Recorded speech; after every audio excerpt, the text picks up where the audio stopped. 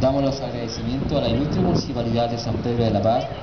en nombre, ¿no es cierto?, al señor, al señor alcalde don Audito Retamal Lazo, el cual, ¿no es cierto?, le ha dado todo el tipo de facilidades para este campeonato Copa San Pedro de la